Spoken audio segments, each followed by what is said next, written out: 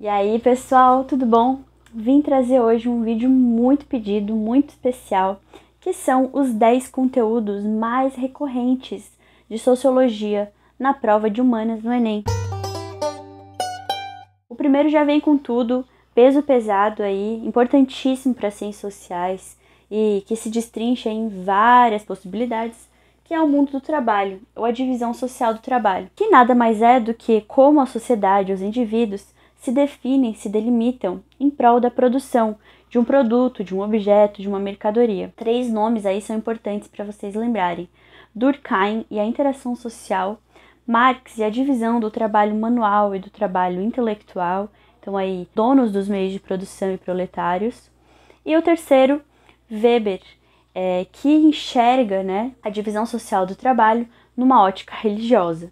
Segundo, ideologia também podemos dividir em duas opções, em duas visões.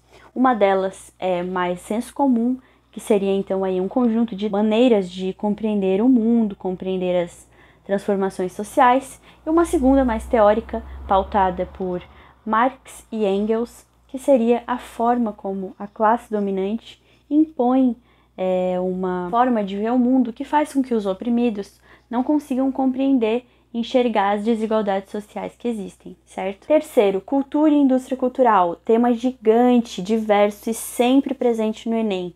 Cultura, quando a gente fala de cultura, a gente tá, pode falar aí de etnocentrismo, a gente pode falar de cultura erudita e cultura popular, a gente pode falar de cultura imaterial e cultura material, e a gente pode falar então da indústria cultural. Eu já faço um link aqui com o nosso quarto tema, que é meios de comunicação, tecnologia e cultura de massa.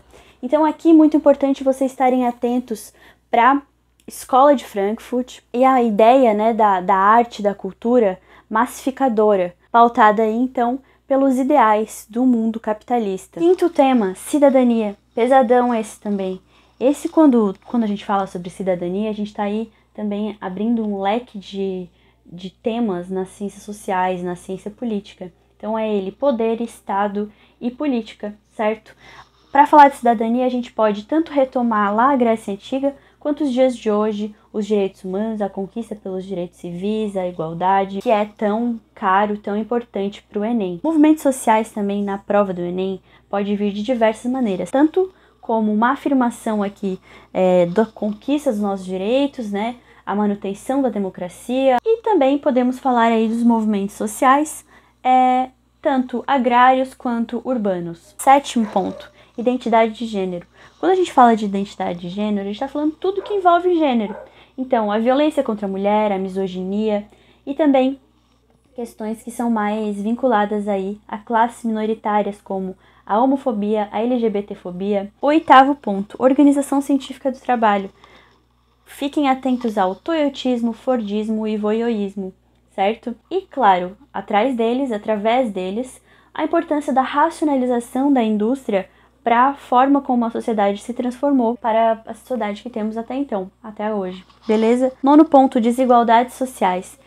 Essa aqui é um, esse é um ponto que pode vir para vocês na prova através de gráficos estatísticos, de questões que mostrem para vocês aí, que chamem vocês a pensar, a refletir sobre a sociedade uma, de uma maneira um pouco mais sensível, ligando aí, né, os, os links todos de todas essas teorias que vocês aprenderam da sociologia com as desigualdades e as, as questões que vão estar tá aí mostradas para vocês. E o décimo ponto, conflito de terra e violência. Ah, esse tema aqui, gente, a gente pode falar tanto de demarcação indígena quanto é, de movimentos sociais, de manifestações, pode tanto trazer sobre embates e questões brasileiras quanto mundiais é, no geral, certo? O vídeo de hoje acaba por aqui, assim, rapidão mesmo. Mas fiquem ligados nos próximos vídeos, fiquem ligados se quiserem saber mais sobre os vídeos de sociologia.